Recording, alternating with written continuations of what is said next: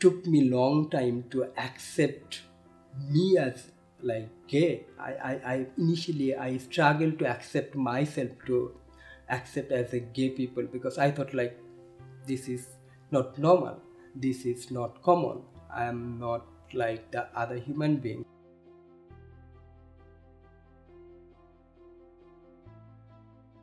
We used to like organize different sort of like monthly get together.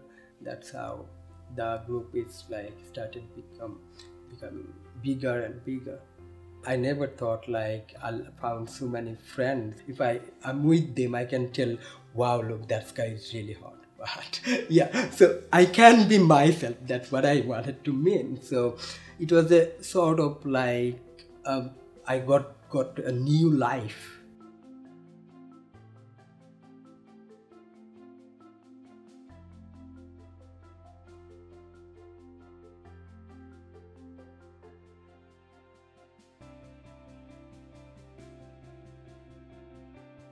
there are some feelings which it's impossible to express in word we really have this magazine. It was like unbelievable something happened.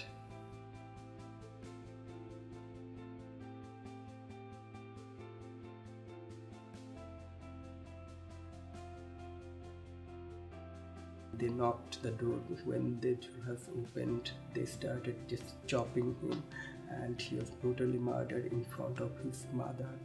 Just chopped them, slaughtered them.